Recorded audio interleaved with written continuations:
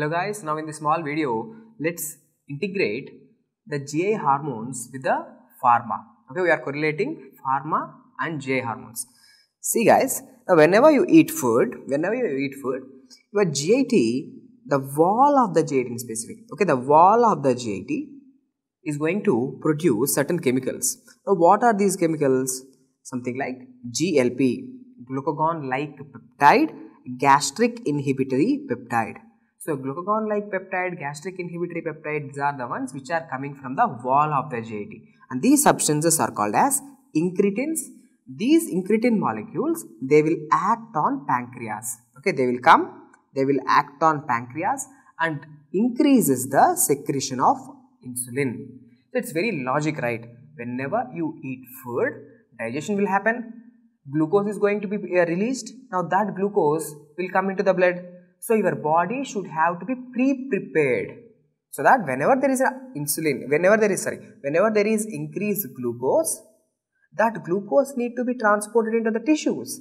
For that, whom do you need? Insulin is needed. So even before food is digested or when the food is getting digested, the GIT wall releases chemicals. These chemicals will go to the pancreas, tell the pancreas that food is coming, glucose is going to come into the blood. So you be prepared. So pancreas is going to release the insulin.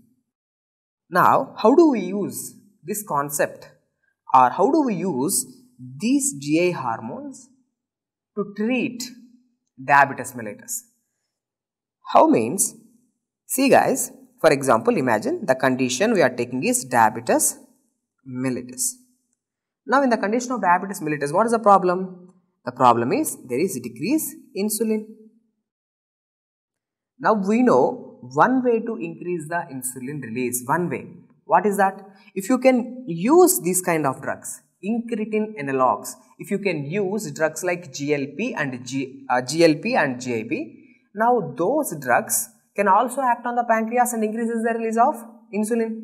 So that what will happen? Blood levels of glucose will go down in diabetes mellitus. So the drugs which are like incretin, like incretin are incretin analog kind of drugs, GLP-1 analogs which are very much famous. So glucagon like peptide 1 which is an incretin. So analog means like drugs. So GLP-1 analogs are exenatide and liraglutide. These drugs are used in treatment of diabetes mellitus. I want you to know one more important point. Now this incretin analogs, these drugs are having a side effect of pancreatitis. Okay. So side effect of the side effect is the pancreatitis. Now let's discuss about motilin. So what is this motilin and from where it is produced and how we can uh, correlate this GI hormone motilin with pharmacology. Guys, this motilin is produced from M0 cells or MO cells. Okay, so M0 cells are the ones which are producing the motilin and what it is doing, in the name itself it's there, motilin. Okay, so movement of the GIT, so increases the gastric and intestinal motility. So motilin coming from M0 cells, what it will do? It will increase the GI motility. Okay sir. Now see these motilin receptors can be stimulated by a drug called as erythromycin. What exactly is erythromycin? Thromycins. Thromycins are macrolides. Okay. So your erythromycin can act on the GIT and it can stimulate the motilin receptor.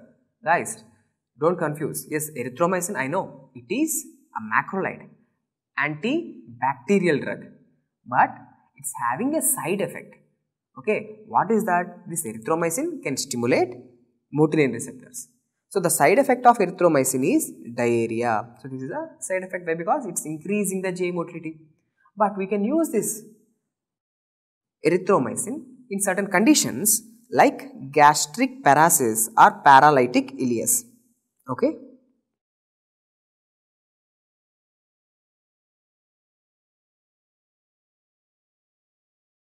Now, just tell me guys, in these two conditions, gastroparesis or simple gastric paralysis, try to understand like this. The GIT motility is not there. Paralytic ileus, okay, contractions are not happening. Now, why it can happen? For example, imagine that there was this one patient who is undergoing some gastric surgery. Okay, some uh, gastric surgery is being happened. During that surgery, the nerve plexus got little damaged. The neurons get little damaged, so that now there is no GI motility. Now, as a doctor, what you have to do? Again, you have to bring back the GI motility. We know erythromycin is kind of a drug. It can stimulate the motilin receptors and increases the GI motility. So, in the conditions like gastric paralysis and paralytic ileus, we want the GI motility to come back. So, what kind of drugs can help us? Erythromycin will come into handy during these conditions. Now, let's talk about this GI hormone which is called as ghrelin. Now, what exactly is this ghrelin and when it is produced? See, ghrelin is produced in the body during fasting. Okay, so during fasting states, ghrelin is getting produced. Now, just think logically and tell me, during fasting, ghrelin is getting produced. So, what might be the function of this ghrelin? To increase the blood glucose levels. Blood glucose levels, ghrelin increases the blood glucose levels.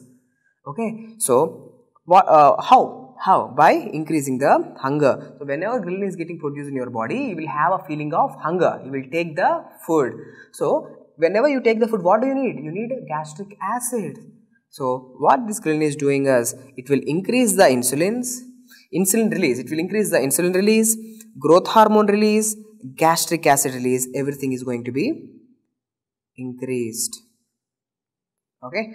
Now what happened to motility it's activating the GI system so motility is also increased.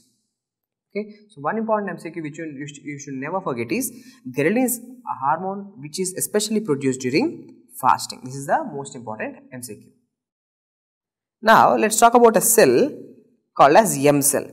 Okay. Uh, this was a integration with uh, a patho now I just want you to remember this. So what are these M cells and where they are present? Guys, right now I am showing you small intestine. Now in the small intestinal wall, are you able to appreciate this cell, this blue color cell which is written as M cell. M cell is also called as microfold cell. Okay. Microfold cell. Now what is the importance of this M cell? This M cell is acting as antigen presenting cell. Okay. Anti gen presenting cell.